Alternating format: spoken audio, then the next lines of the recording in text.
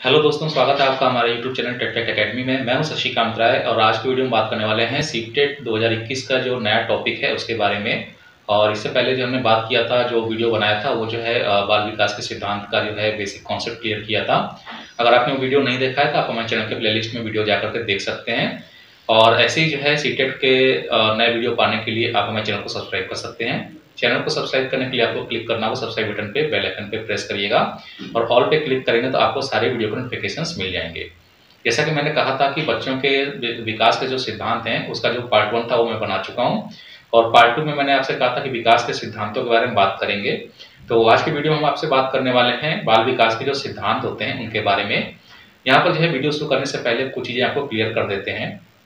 कि बाल विकास के जो सिद्धांत होते हैं, वो गर्भावस्था से लेकर के शैशवावस्था के जो मध्यकाल तक होते हैं, उसमें जो खास तौर से जो परिवर्तन आपको देखने के लिए मिलेंगे, वो आपके जो है खास तौर से जो है शारीरिक परिवर्तन होते हैं। ठीक है? शारीरिक परिवर्तन जो है खास तौर से और मानसिक परिवर्तन कुछ जो है थोड़े बहुत परिलक्षित होते हैं, जो कि गर्भावस्था से शैशवावस्था के मध्यकाल तक आपको देखने के लिए मिलते हैं। उसके बाद जो है शैशवावस्था के मध्यकाल से लेकर किशोरावस्था तक के अंत तक या आप समझ लीजिए कि जो है प्रौढ़ावस्था तक जो है जो भी परिवर्तन जो है बालक के विकास में आपको जो है परिलक्षित होते हैं, देखने के लिए मिलते हैं, वो खास तौर से मानसिक स्तर पे होते हैं और सामाजिक स्तर पे होते हैं, जिससे उसका जो है व्यक्तित्व का विकास होता है। तो यहाँ पर जो है दोनों चीज़ें अलग अलग हैं खास तौर से जो केंद्रीय शिक्षक पात्रता परीक्षा है, उसमें पेपर वन में जो खास तौर से जो परिवर्तन के सिद्धांत हैं, जो बाल विकास के जो सिद्धांत हैं, उनके बारे में जो क्वेश्चन जो है पुटअप किए जाते हैं, वो खास तौर से जो है शारीरिक वृद्धि या शारीरिक ग्रोथ को लेकर के जो है क्वेश्चन जो है पूछे जाते हैं।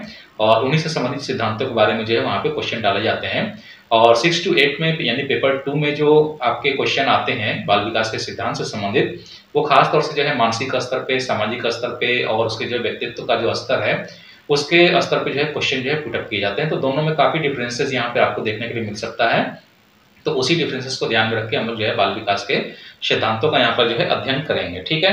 तो आइए शुरू करते हैं अपना आज का वीडियो जानते हैं कि बाल विकास के सिद्धांत क्या हैं और इनको एक निश्चित क्रम में लेके चलेंगे ताकि आपको जो इसका कॉन्सेप्ट जो है कायदे से क्लियर हो जाए। इसमें जो सबसे पहला जो विकास का सिद्धांत है, वो बताया गया है कि विकास का एक निश्चित प्रतिरूप होता है। विकास का एक निश्चित प्रतिरूप होता है a particular pattern of development ठीक है?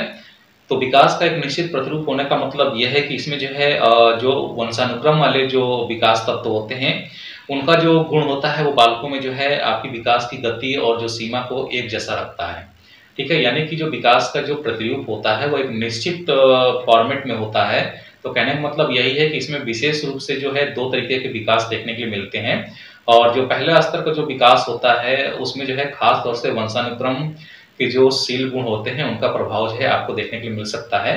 तो फ़िलहाल इसमें जो है दो तरीके के विकास होते हैं। पहला तो होता है आपका जो है मस्तिष्क से नीचे की ओर का नियम, यानी सिर से पैर की तरफ़ जो नियम है विकास के सिद्धांत का, वो इसमें आता है। जिसमें बच्चे का जो विकास होता है, वो सिर से पैर की तरफ़ होता है, जो खास तौर से शारीरिक विकास को इंगित करता है। और दूसरा होता है निकट से दूर का नियम निकट से दूर के नियम में जो क्या होता है कि पहले शारीरिक भागों के जो केंद्र में है, उसमें विकास होता है बाद में दूसरे भागों में विकास होता है। उदाहरण के लिए पेट और धड़ जो है, आपका जो होता है, जो बालक का जो पेट और जो धड़ होता है, उसमें क्रियाशीलता जो है पहले आती है। यानी कि ये केंद्रीय भाग है, जहाँ से विकास की प्रक्रिया शुरू होती है। इसलिए जो है विकास का जो एक निश्चित प्रतिरूप होता है, उसको दो भागों में बांट दिया गया है। पहला है मस्तिष्क से नीचे की ओर का नियम, ठीक है? और दूसरा हो गया निकट से दूर का नियम। दूसरा जो नियम है वह है सामान्य से विशिष्ट की ओर सामान्य से विशिष्ट की ओर का मतलब होता है कि संपूर्ण शरीर का समान विकास पहले होता है और विशिष्ट अंगों का बाद में होता है। ठीक है, यानी कि संपूर्ण शरीर का जो समान विकास होता है, वो पहले होता है और विशिष्ट अंग का बाद में होता है। इसको कहने का मतलब यह है कि जैसे बच्चा जो है किसी चीज़ को पाने के लिए क्या करता है, पूरा शारीरिक क्रिया करता है, यानी हाथ पैर चलाता है। शुरुआत में जो शुरुआती लक्षण आप देखते हैं कि अगर बच्चा किसी वस्तु को उठाना चाहता है, वो हाथ पैर सब चीज़ पूरा शरीर जो है हिला के रख देता है तो इसी तरीके से जो आपका जो शारीरिक विकास होता है, पहले सामान्य अवस्था पूरे शारीरिक विकास होता है। उसके बाद जो है आपके एक विशिष्ट अंग जो होते हैं, जैसे हाथ की उंगलियाँ हैं, उनकी गदेलियाँ हैं या पैर के पंजे हैं, उनमें जो है विकास एक के बाद एक होता है। तो यानी कि पहले सामान्य रूप से शारीरिक विकास होता है, यानी अंगों का पहले प्रतिक्षीकरण दिखाई देता है और फिर उनमें जो है क्या होती है, इंद्रियों को नियंत्रित करने की शक्तियाँ आती हैं, इसलिए विकास का जो प्रतिरूप होता है, वो सामान्य से विशिष्ट की ओर होता है। ठीक है? तीसरा चीज़ है कि विकास की जो गति होती है, वो निरंतर होती है। आप सभी लोग जानते हैं कि विकास की गति जो है सतत चलने वाली प्रक्रिया है और यह गर्भावस्था से लेकर के और आपके मृत्यु पर्यंत तक या जीवन पर्यंत तक जो है चलती रहती है। ठीक है? उसके बाद जो चौथा है कि विकास में वंशानुक्रम के आधार पर व्यक्तिगत जो है भेद होते हैं। यानी विकास के सिद्धांत में जो है व्यक्तिगत विभिन्नताएँ पाई जाती हैं और ये व्यक्तिगत विभिन्नताएँ जो है दो प्रकार की होती हैं। पहली तो होती है कि वंशानुक्रम के आधार पर जो है व्यक्तिगत विभिन्नता पाई जाती है विकास क्रम में। यानी अगर किसी व्यक्ति का जो वंशानुक्रम से जो उसको सीधगुण प्राप्त हुए उसके आधार पर उनके शारीरिक विकास जो है तेज़ी से देखने के लिए मिलते हैं। यानी कुछ व्यक्ति जो है लंबे होते हैं, कुछ छोटे होते हैं, कुछ काले होते हैं, कुछ गोरे होते हैं। तो इनका अलग अलग जो है विकास का क्रम जो है देखने के लिए मिलता है, जिनमें व्यक्तिगत रूप से भेद पाया जाता है। और दूसरी चीज़ ये होती है कि जो आपकी जो पर्यावरण या जो वातावरण का जो प्रभाव होता है, यानी कि अगर कोई बालक या शिशु जो है, अगर वातावरण से ज़्यादा प्रभावित है या उसके आसपास का वातावरण गंदा है या उसको जो है भोजन सही से नहीं मिला है, कुपोषण का शिकार है तो उसमें जो विकास का जो जो गति होगी वो काफ़ी अंतर देखने के लिए मिलेगा। यानी कि जो है व्यक्तिगत विभिन्नता का मतलब ये होता है कि आपको वंशानुक्रम के आधार पर जो है विकास की जो गति होती है, उसमें विभिन्नता देखने के लिए मिल सकती है और वातावरण के आधार पर भी जो है देखने के लिए मिल सकती है। और इसके साथ ही जो है इसमें लैंगिक विभिन्नता भी है, आ जाती है। यानी कि बालकों में जो विकास का क्रम होता है, उसकी गति कुछ और होती है और बालिकाओं में जो विकास के क्रम होते हैं, उनकी गति कुछ और होती है। खासतौर से आप देखेंगे कि बालिकाओं में जो विकास की गति होती है, वो बालकों की अपेक्षा जो है तीव्र होती है। तो कहने का मतलब यह है कि बालक के विकास के सिद्धांत में जो है व्यक्तिगत विभिन्नता पाई जाती है। वह चाहे वंशानुक्रम के आधार पर हो, चाहे वातावरण के आधार पर हो और चाहे लैंगिक विभिन्नता के आधार पर हो। ठीक है? इसके बाद जो है, अगला जो आता है, पांचवा जो है, विकास क्रम का जो सिद्धांत है। ठीक है? विकास क्रम का सिद्धांत। यानी विकास क्रम का सिद्धांत ये होता है कि किसी बालक में गर्भावस्था से लेकर के किशोरावस्था तक तो जो विकास होता है, वो एक निश्चित क्रम में होता है। यानी कि एक पर्टिकुलर उम्र में वो कुछ चीज़ें जो हैं, सीख जाता है और वो कौन सी चीज़ें हैं, वो आपको जो है अभी हम बता देते हैं यहाँ पे कि कौन कौन सी चीज़ें जो है बालक जो है निश्चित क्रम में सीखता है। यहाँ बोर्ड पर आप एक जो है रेखा चित्र देख रहे होंगे, ठीक है? यहाँ पे जो रेखा चित्र बनाया है, इसमें विकास क्रम का जो सिद्धांत है, उसको यहाँ बताया गया है। और इसको जो है आप अच्छे से अगर समझ लीजिएगा, क्योंकि इससे संबंधित क्वेश्चन जो है आ जाते हैं, ठीक है? तो इसमें जो है देखिए, आप जो चित्र देख रहे हैं, इसमें ज़ीरो से शुरू किया गया, यानी गर्भाधान से शुरू किया गया है और पाँच वर्ष तक जो है इसको जो है दिखाया गया है, ठीक है? जो क्रमिक विकास का जो सिद्धांत है, यानी कि बच्चे की एक क्रमिक जो आयु होती है, उसमें कौन कौन से परिवर्तन या कौन कौन से विकास देखने के लिए मिलते हैं। तो ज़ीरो वर्ष जो है गर्भाधान का समय होता है तो इसमें जो है खास तौर से आप ये मान के चलिए कि जो बच्चों के जो दांतों का विकास होता है, वो गर्भावस्था में हो चुका होता है, लेकिन वह उसके जन्म के बाद ही सामने आते हैं मसूनों से बाहर निकल के। तो गर्भावस्था में जो दांतों का विकास या दांतों का जो है विकास हो चुका होता है, ठीक है? जो पहला सप्ताह होता है, उसमें गर्भावस्था से जो है भ्रूणावस्था आ जाती है और उसके बाद जो आठ सप्ताह की जो अवधि होती है, उसको हम लोग गर्भावस्था कहते हैं। तो ये भी ध्यान रखिएगा कि ज़ीरो वर्ष जो होता है, वो गर्भाधान कहलाता है और एक सप्ताह को हम लोग क्या कहते हैं, भ्रूणावस्था कहते हैं और आठ सप्ताह की जो विकास की अवस्था होती है, उसको जो है गर्भावस्था कहते हैं। दसवां सप्ताह में क्या होता है, धड़ का विस्तार हो जाता है। चौदहवें सप्ताह में बालक निगलना व छींकना जो है, सीख लेता है। सोलह सप्ताह में वह जो है, सांस लेने से पूर्व की गतियाँ सीख लेता है। अठारह सप्ताह में वो मुट्ठी बंद करना सीख लेना, सीख लेता है। बीस सप्ताह में वो गर्दन की सहज क्रियाएँ करना सीख लेता है। चौबीस सप्ताह में शारीरिक व रासायनिक नियंत्रण को पहचानने लगता है। चालीसवें सप्ताह में ज़ीरो से चालीस, यहाँ चालीस से ज़ीरो कर दिया गया ठीक है? तो चालीसवें सप्ताह में, यानी जन्म से पूर्व जो स्थिति होती है वो आपकी पूरी परिलक्षित होने लगती है। और फिर ज़ीरो से जो है शुरू होता है, यानी चौथे सप्ताह से फिर शुरू करते हैं इसको। तो यहाँ से जो है मंथली आप इसको डिवाइड कर लेंगे तो कहने का मतलब यही होता है कि गर्भावस्था से सहस्वावस्था का जो मध्यकाल होता है, वो चालीस सप्ताह तक होता है। और सहस्वावस्था के मध्यकाल से ऊपर जब आप पहुँचने लगते हैं तो आपका जो है किशोरावस्था की तरफ़ जो है बालक बढ़ने लगता है, जिसमें अलग तरीके के परिवर्तन और विकास देखने के लिए मिलते हैं। जिसमें चौथे सप्ताह में आपको आँखों पर नियंत्रण जो है करना बच्चा सीख जाता है। सोलहवें सप्ताह में सिर का संतुलन बनाना सीख जाता है।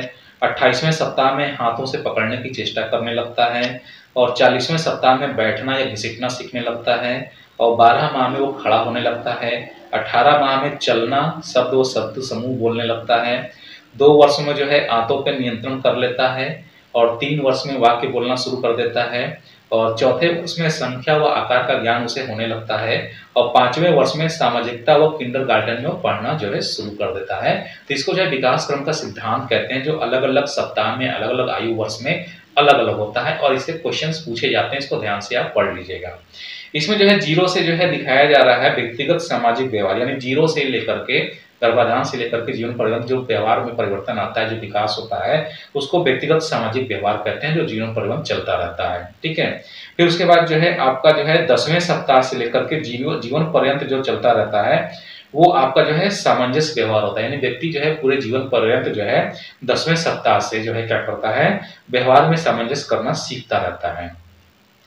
उसके बाद जो है चौदहवें सप्ताह से जो है, उसका जो है चौदहवें सप्ताह से लेकर के और पूरे जीवन पर्यंत या किशोरावस्था तक आप मान लीजिए, उसके भाषा का विकास होता रहता है। ठीक है? और ये सारे विकास जो है गामक विकास में आते हैं, जो ज़ीरो से लेकर के जीवन पर्यंत चलते रहते हैं। तो यह एक जो है रेखा चित्र था जिसको समझना जो है इसलिए ज़रूरी था क्योंकि इससे प्रश्न पूछे जाते हैं और यहाँ पे आप जो सप्ताह दिए हैं, उसको आप मंथ में या महीनों में कन्वर्ट कर सकते हैं। तो इसी को हम लोग क्या कहते हैं? विकास क्रम का सिद्धांत कहते हैं। और आइए इसके आगे के सिद्धांत देखते हैं। इसके आगे का जो सिद्धांत है, उसमें आता है कि विकास की गति में तीव्रता और मंदता पाई जाती है। विकास की गति में तीव्रता मंदता का मतलब ये होता है कि कभी विकास की गति बालक के अंदर धीमी होती है तो कभी तेज होती है। वैसे शुरुआत में यह तेज गति से बढ़ती है और बाद में ये धीमी हो जाती है, जिसको आप लोग जो है आगे जो है चलेंगे, जब अधिगम के पठार हम लोग पढ़ेंगे, वहाँ पे आपको दिखाई देगा कि कभी कभी जो है विकास की गति जो है तेज हो जाती है कभी कभी धीमी हो जाती है कभी कभी धीमी होती है, कभी तेज होती है, कभी धीमी और तीव्र दोनों हो जाती है। तो इनको जो है हम लोग अधिगम के पठार में पढ़ेंगे, लेकिन यहाँ पर ये विकास के सिद्धांत में ध्यान रखिएगा कि विकास की गति सदैव एक जैसी नहीं रहती है, कभी धीमी होती है और कभी मंद पड़ जाती है। उसके बाद आता है कि विकास जो है परिपक्वता और सीखने का जो है परिणाम होता है। विकास का जो सिद्धांत होता है, इसमें सबसे बड़ी चीज़ जो होती है या इसकी सबसे बड़ी जो विशेषता होती है, जिसमें परिपक्वता और सीखना दोनों काफ़ी महत्वपूर्ण होते हैं। यानी परिपक्वता से जो है जो सील गुण प्राप्त होते हैं, उससे आपको सीखने में सहायता सहायता मिलती है। अगर आपने जो है पहला वीडियो नहीं देखा हो तो आपको यहाँ पे परिपक्वता और सीखने का जो मतलब है, वो समझ में नहीं आएगा। तो विकास के सिद्धांत में परिपक्वता और सीखने का जो है काफ़ी महत्वपूर्ण योगदान होता है। यहाँ पर जो है सीखने को आप शिक्षण भी कह सकते हैं और अभ्यास भी कह सकते हैं और अधिगम भी कह सकते हैं। शब्दों को वहाँ पे बदला जा सकता है। और क्वेश्चन पूछा जा सकता है कि विकास के सिद्धांत में मूल जो तत्व होते हैं, वो दो कौन से होते हैं? तो परिपक्वता होता है और सीखना होता है। ठीक है? उसके बाद आ जाता है कि वंशानुक्रम वातावरण की अंत क्रिया का सिद्धांत है। यानी विकास का जो सिद्धांत होता है, वो वास्तव में क्या होता है? वंशानुक्रम और वातावरण की जो अंत क्रिया होती है, उसके चलते किसी बालक का विकास होता है। तो ये सारे जो हैं विकास के सिद्धांत थे जो बालक के विकास से संबंधित थे और जिसमें खासतौर से जो आपको विकास के सिद्धांत मैंने बताए हैं, वो जो है शुरुआती लक्षणों को जो है परिलक्षित करते हैं प्रदर्शित करते हैं। खास तौर से जो है ये गर्भावस्था से लेकर के जो है आपका शैशवावस्था के मध्यकाल तक और किशोरावस्था तक भी जो है इसमें आपको देखने के लिए मिलेगा। और लगभग जो है पेपर एक और पेपर दो दोनों के लिए छः से आठ हो चाहे एक से पाँच के लिए हो, यही सिद्धांत जो है ज़्यादातर क्वेश्चन में पूछे जाते हैं। तो इनको आप लोग अच्छे से पढ़ लीजिएगा। और उम्मीद करते हैं कि वीडियो आपको जो है पसंद आया होगा लेक्चर पसंद आया होगा। अगर लेक्चर पसंद आया तो वीडियो को लाइक करिएगा शेयर करिएगा। चैनल को सब्सक्राइब करना ना भूलिएगा। तो जल्दी मिलते हैं अपने नए वीडियो के साथ में। तब तक के लिए इजाज़त दीजिए। धन्यवाद।